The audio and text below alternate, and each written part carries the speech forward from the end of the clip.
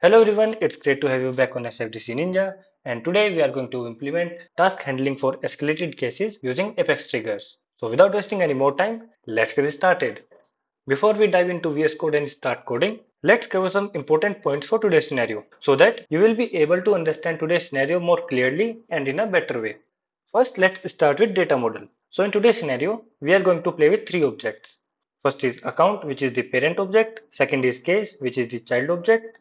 And third is contact, which is also a child object. On case object, we have a checkbox field escalation required, which indicates that whether escalation is required on a case or not. Also on contact object, there is another checkbox field primary contact, which indicates that a contact is primary or not. Now let's understand the scenario on which we are going to work today. So in today's scenario, we need to create a follow-up task on primary contact of an account whenever escalation required checkbox of case record on that particular account gets checked. And just like every video, I'm going to explain the requirement in an easy way by using a flowchart.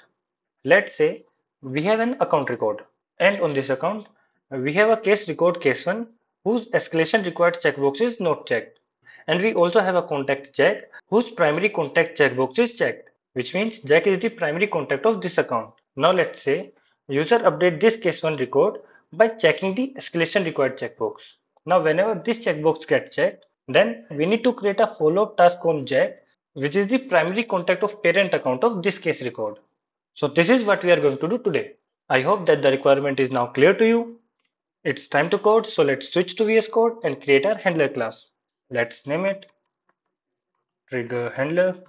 Let's create our method public static void trg method.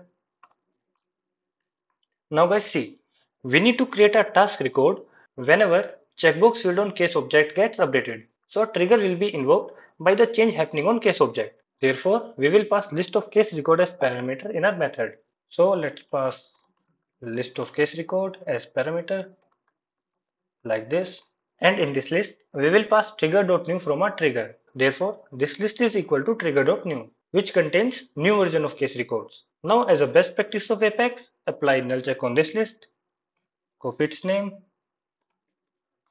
note paste it here is empty and iterate over it for case let's say new case again paste it now guys we need that a trigger should get invoked only when escalation required checkbox of a case record gets checked. So let's apply a check like this. If new case dot escalation required is true, I mean checked. And we also need that this case record must have a parent account. So let's apply one more check here like this count id is not null we can also apply another check that before updating case record, escalation required checkbox was not checked. But for that, we need old values of record. And in Apex triggers, we can have old version of records by using trigger.oldMap. So let's pass another parameter in our method. Like this.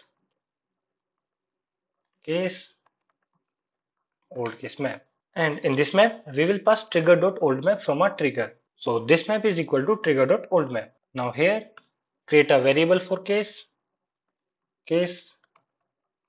Old case. And in this variable we will store old version of case record using this map so copy its name paste it here dot get new case dot id guys see in this map id of case is the key and case record is the value and here we are using get method to fetch old version of case record by passing id of case which is being updated so this variable contains the old version of case record. Now inside this if condition, apply another check like this. Old case dot escalation required was false. I mean unchecked. And if this condition will get true, then what we will do? We will add parent account ID of this case in a set. So for that, let's create a set first. Set ID, ACC IDs, new set ID. Copy this set name, paste it here, and add parent account ID in this set. New case dot account ID. Now guys, we want that our further code will be executed only if this set contains a value. and this set will have the value only when on an account record escalation required checkbox of a case gets checked. So let's apply a null check on this set, copy its name, if paste it here is not empty and now in next step what we will do we will fetch primary contact of account whose id is present in this set so let's see how we can fetch it. Let's create a list. Contact. Con list. Select id account id primary contact. From contact. Where account id in our set.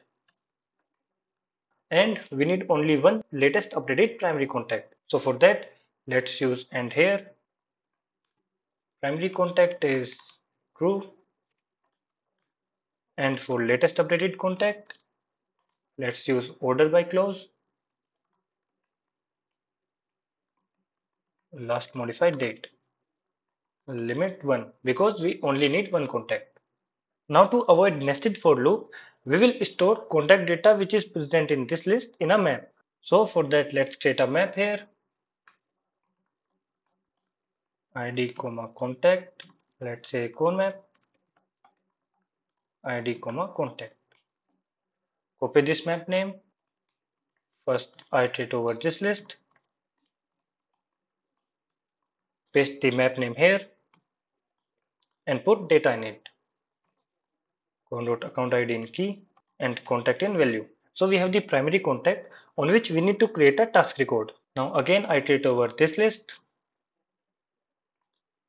for case, let's say case RCD, list name. Now our next and final step is to create a task record on primary contact of account. And we already have that primary contact data in this map. So let's first apply a null check on this map. Like this. If not copy this map name paste it here. Is not empty. And apply another check that if parent account id of this case is present in key of this map. This is to check that parent account of this case and this contact is same. So let's apply check like this. conmap dot contains key case rcd dot account id and if this condition will get true, then first we will create a contact variable like this. Contact, let's say primary con, and we will store contact data in this variable using this map. conmap.get case rcd dot account id and finally create a task record. Task let's say tsk new task tsk dot subject let's say follow up task. We want to create this task record on this contact. That's why we need to provide this contact id in who id like this whoid primary con id status will be not started. Priority will be high. Let's give a description also.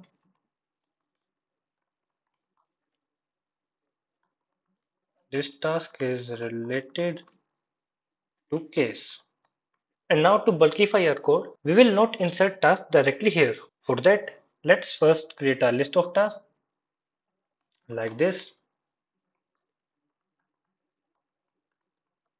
task to insert new list task Copy this list name and add records in this list. TSK. And for error handling, we are going to use try and catch block. So let's first use try here and inside it apply DML on this list. Copy this list name, insert it and to catch exception, let's use catch block like this exception ex system.debug error while inserting case records ex.get message. Basically in Apex, get message method is used to retrieve the error message associated with a specific exception. Save this class and deploy to org. Okay, we are getting error. Line number 17. Oh, I forgot to use add here. Save it and deploy it to org again. So we have our handler class ready. Let's create a trigger now. Let's say case trg. Now it is obvious that change is happening on case object. Therefore, a trigger will be on case object with after update event. Why after update? Because we need to create a task record after the case record gets saved to database. So let's write case here and with after update event.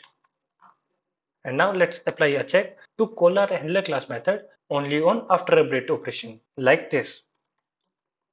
If trigger dot is after and trigger dot is update. And here call our handler class method. Trigger handler dot trg method trigger dot new in first parameter and trigger dot old map in second. Save it and deploy it to org. Okay, it is successfully deployed. So we have our code ready. It's time to test our code. So let's go to org and see our code in action. So in our org, we have this account record and this account has two contacts. This one is primary contact and this one is normal contact. And we also have a case record on it whose escalation required checkbox is not checked. So let's open this case and this primary contact also. Click on edit And now according to the requirement, if we check the escalation required checkbox of this case, then a task record will be created on this contact. So let's check the checkbox, click on save, go to this contact, refresh it. So guys, as you can see that a task record has been created on this contact. Let's check the details also. Subject is same, status is same, priority and description also. Which means our trigger is working fine. So that's it for today guys and i'll be back with more interesting trigger scenarios. Thank you and keep watching